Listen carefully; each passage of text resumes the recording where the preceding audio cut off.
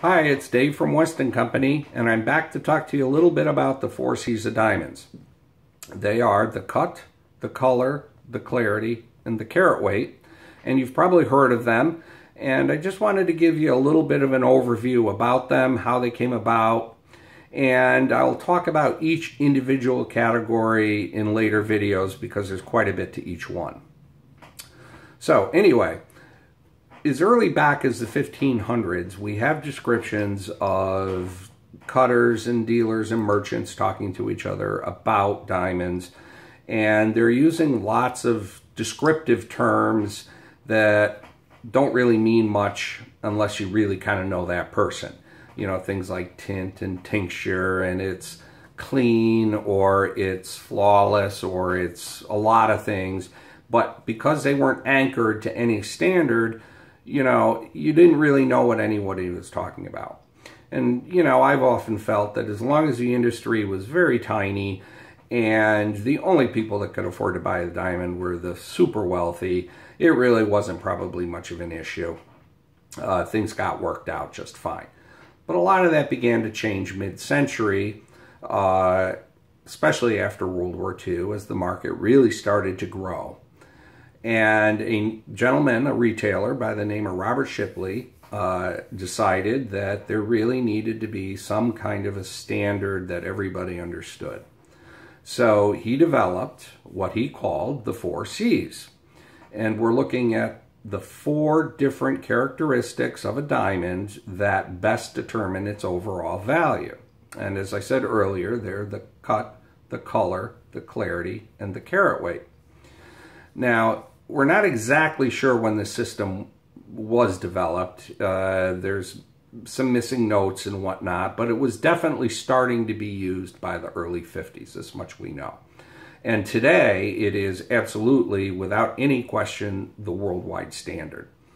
Now, Robert Shipley was a really interesting guy because he not only developed the system, which has turned out to be the best, uh, absolutely a very fine system, but he also founded the Gemological Institute of America, which is the uh, educational and research arm for the jewelry industry as a whole. My degree as a gemologist comes from the Gemological Institute of America.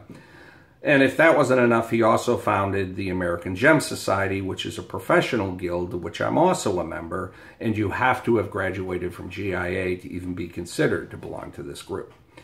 So it really is, uh, he's really changed the industry for the better. Now, anyway, back to the four C's. Uh, the few things to remember about them is combined, that's what we use, a gemologist or a cutter or anybody uses to determine the overall quality and hence the value of a diamond.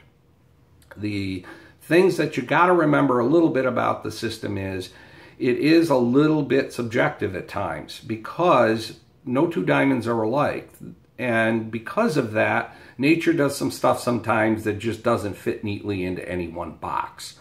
So because of that, there is a tiny bit of subjectivity into it. Although, even though I may argue with another gemologist over the color or the clarity of a specific diamond, uh, we're still within a certain guidelines that we have to adhere to so that we're all pretty much still on the same page and differences are generally fairly slight. The other thing to remember about the system is a lot of times it is misunderstood as a quality overall statement, meaning the better the diamond is on the grading scales, the uh, finer it is, the prettier it is. And that is just not necessarily the case because, again, nature does a lot of strange things. So it is, however, a perfect example of a diamond's rarity. As you go up the scale and you get rarer and rarer and rarer as it goes higher up.